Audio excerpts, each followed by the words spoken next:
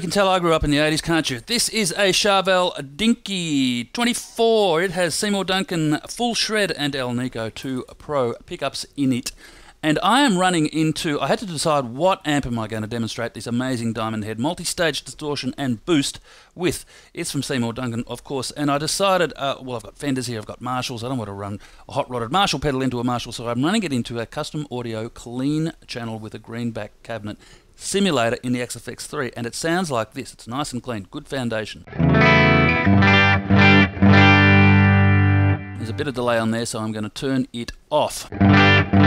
Alright, the Diamondhead has three tone controls bass, middle, and treble. They are tuned at, now listen carefully, 80 hertz, 800 hertz, which is kind of the, uh, the Tom Scholz frequency almost, and 6 kilohertz to give you some sizzle. And they're active, which means they do a lot when you turn them either way. We'll have a look at those closely in a moment. This boost control here is post overdrive or post distortion. It is a 15 dB clean boost, which you can use independently to kick the front end of your uh, already dirty amp and take it into searing overdrive, um, or just use it as a clean boost on a clean amp. Level control is a level control. Gain control the amount of distortion and this little saturation switch here engages a 25 dB Seymour Duncan 805 overdrive circuit in front of the already cranked hot rodded Marshall-esque amplifier. So the clean sound again. About as clean as you're going to get from full shred pickups. These are pretty, they're a bit dirty. Classic 80s pickups. Distortion on. Now these tone controls. Hear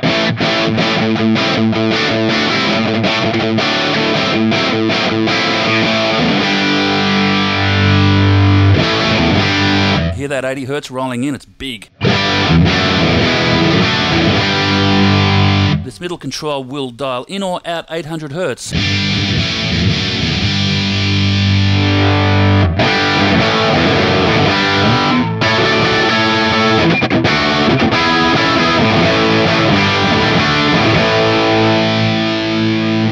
The 6 kilohertz sizzle control over here.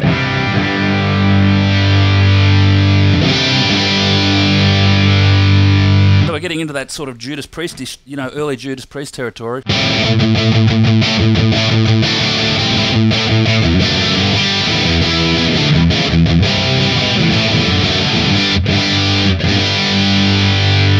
Just roll him back a little bit and bring that 800 up.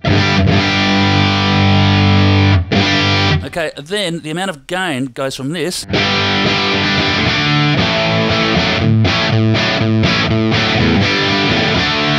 is almost plexi territory, it's good. Bringing in the 805 circuit with 20 dB behind it.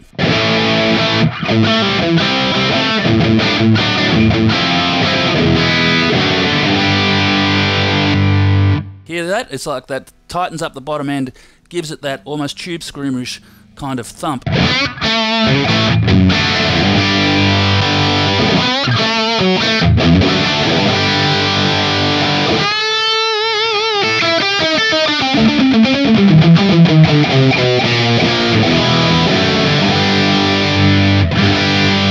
Let's go full gain without the saturation circuit engaged.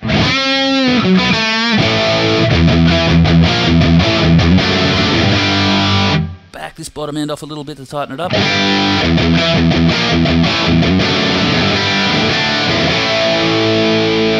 And then bring in saturation.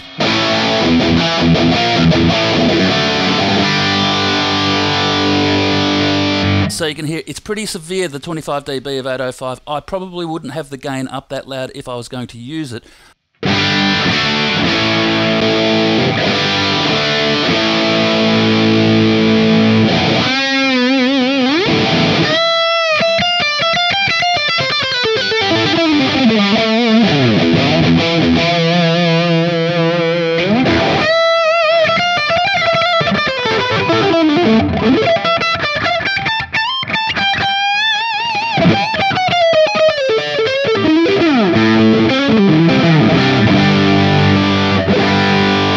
can get those creamy mids happening if you just wind it up just a little bit.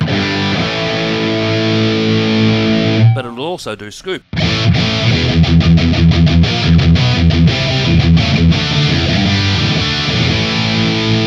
All right, let's go to the rhythm channel of that custom audio model, and it sounds like this. The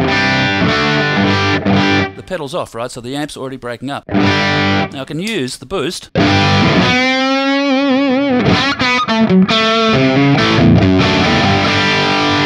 To give it a good old kick in the guts.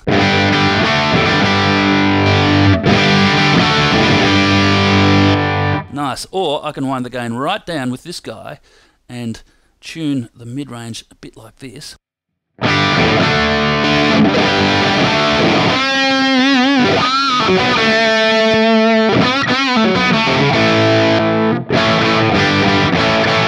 Now, one other cool thing you can use the Diamondhead for is as a preamp straight into the effects loop of your amplifier, which means you're going to be bypassing the preamp section of your amplifier. I can do that with the Axe-FX by turning off the amp block, and it sounds like this just through the, the greenback cab. Loud and pretty colourless. But if I engage this guy,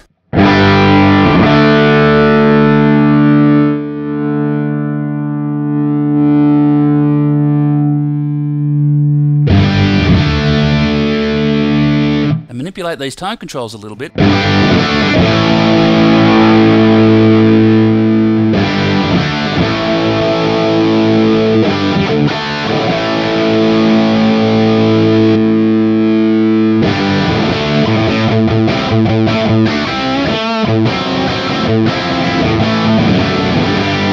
It makes a damn fine preamp.